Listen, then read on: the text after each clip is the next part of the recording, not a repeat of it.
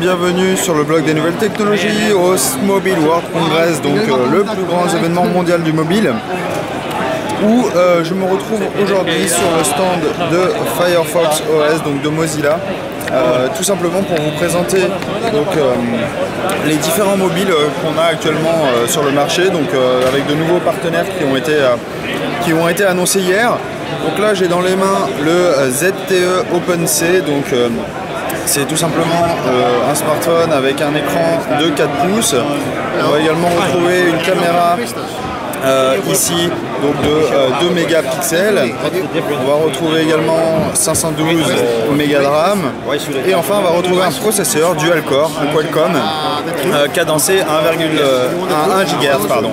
Donc certes, ce sont des spécifications faibles, mais il faut savoir que Firefox OS c'est en fait un système d'exploitation mobile destiné tout simplement au marché émergent. Et donc du coup, on n'est pas obligé d'avoir des spécifications phares comme on a pu voir avec le Sony Xperia Z2 notamment Là, on est vraiment sur le marché d'entrée de gamme, donc c'est tout à fait logique d'avoir des spécifications comme ça. À côté, ici, euh, on a le Alcatel One Touch Fire C, donc c'est un, écran de 3,5 pouces à la place, euh, un peu moins de mémoire puisqu'on a 256 mégas, et euh, on a par contre une caméra frontale ici qui est de 0,3 mégapixels.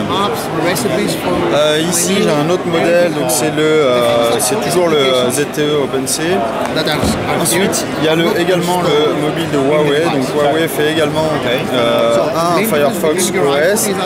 Donc euh, c'est le Huawei Y300 donc il a également un écran de 4 pouces, une caméra euh, de 5 euh, mégapixels, une caméra frontale également, 512 Mb de RAM et un processeur dual core de 1 GHz. Concernant Firefox OS, euh, ici donc je éteint volontairement pour vous montrer booter. Donc ça c'est le Alcatel One Touch, donc c'est le moins puissant des smartphones qu'on a, sur qu'on a dans, notre gamme. Mais comme vous allez le voir, ça boot assez vite.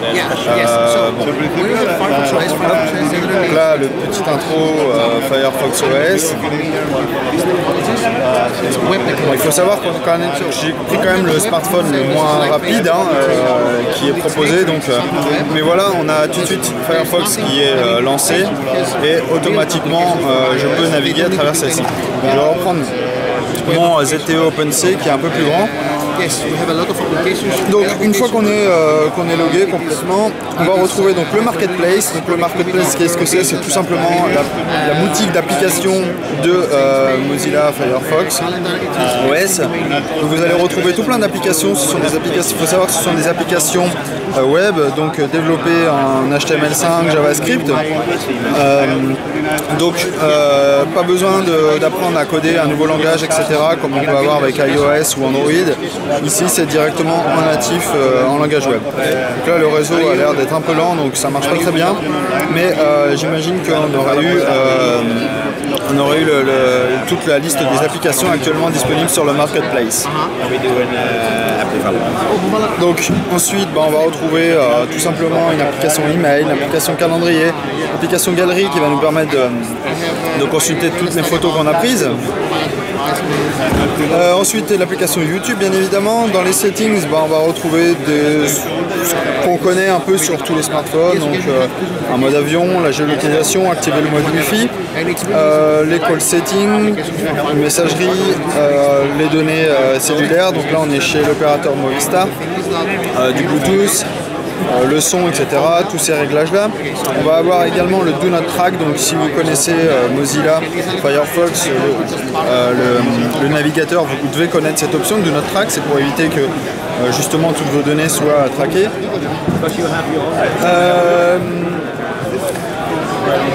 des informations sur la batterie. On a également un, mode de Là, j'ai réussi à lancer sur l'autre téléphone, vous voyez le, marketplace. Donc là, par exemple, si je veux installer euh, Pinterest, je vais dessus. Ah, il est déjà installé. Par contre, je sais pas comment. Je sais pas comment on revient en arrière. Il doit y avoir un un geste, je sais pas faire. Donc il n'y a qu'un bouton euh, central. Je suis un peu embêté. Ah, j'ai la petite flèche en haut, j'avais pas vu. Donc je vais revenir.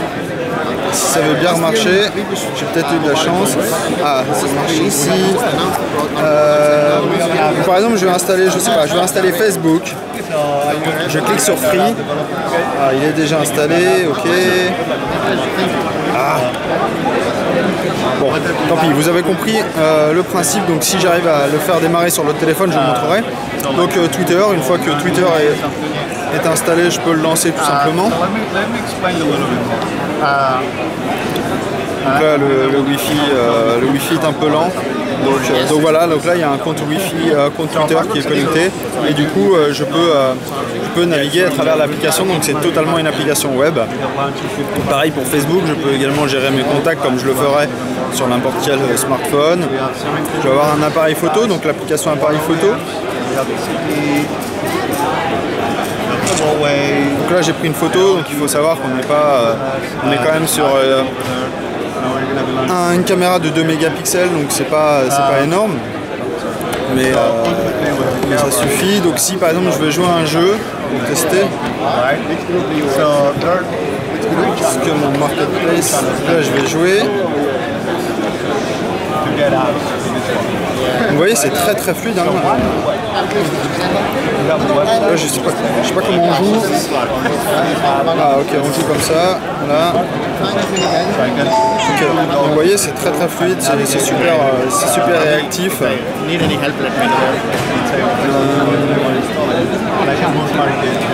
pouvoir bien évidemment envoyer des messages. Oh, okay.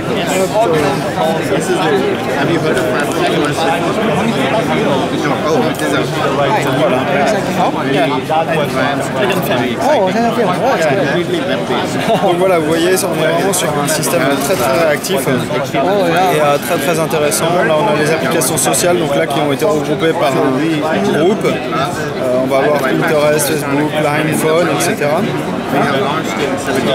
Pareil pour les jeux, on va pouvoir les regrouper. Donc là, on a mis deux jeux dans un même groupe.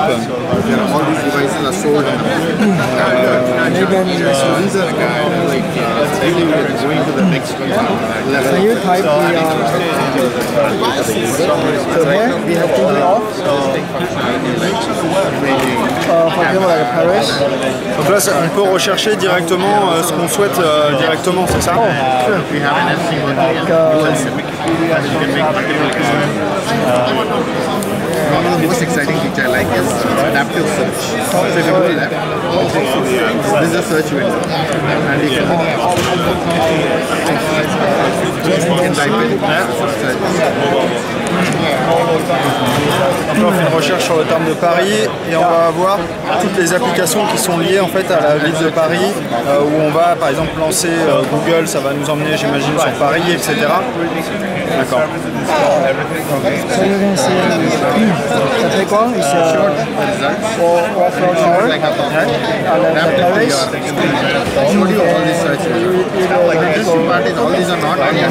On va aller sur Google.